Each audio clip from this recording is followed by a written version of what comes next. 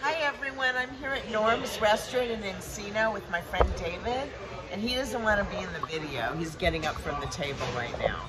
So there we go. Most of my friends don't want to be in my videos. He was on my last one um, that I did at Lido Pizza maybe about three or four years ago, but he won't be on this one.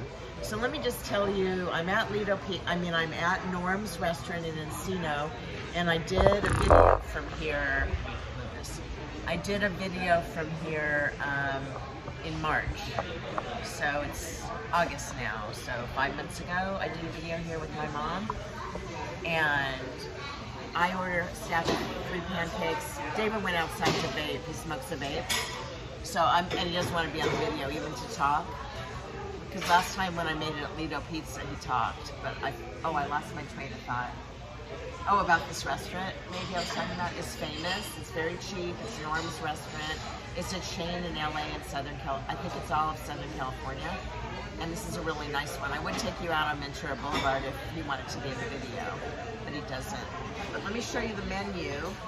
It's fantastic. It's huge. I don't know if you have to, you can see it. It's huge and they have really good prices. They have breakfast. Uh, it's a coffee shop, really. They have breakfast all day long. So, don't know how much you can see.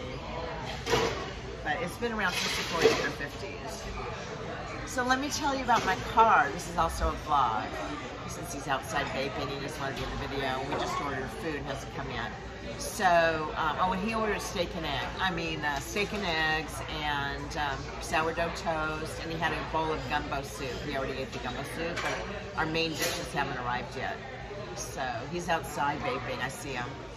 So, anyways, um, my car, what's going on with my car is it's in production right now. I just checked the status. For the past week, it's in, been in production. So it's being built in the factory, it says. And it said this could take several days, and it's been in there since Tuesday. And it's Wednesday, Thursday. Okay, Tuesday, Wednesday, that's four days it was in the factory. I'm, I'm sure, well, I don't know if they work Saturday and Sunday at the Ford factory in Detroit area. But um, yeah, I'm waiting for my Mustang, and it should be good. And when David comes back in, I'm going to stop making the video. so, what else to talk about? Oh. So I'm visiting Rosie in about, uh, on August 14th through August 18th, and I'm looking forward to it. put my reading glasses on. Okay, I can see it. So let me sit back a little bit. So I'm visiting Rosie, and we're going to have fun like we did before. I'm looking forward to it. If you're watching Rosie, hi. So she wants to go to Point Reyes Station, she said, and something about cheese. My aunt said there's cheese in Petaluma. I don't know if that's where she wants to go, or maybe somewhere else. I have an aunt from Sebastopol that Rosie knows about that I was uh, messaging when I was at Rosie's. And she used to live in Sebastopol. She moved. But um, she lived there a long time, and she knows the area really well. So she lived near Rosie. Sebastopol is, just, I think it's Sonoma County or wine country, or it's really cool. I went there in December when the first time I visited Rosie.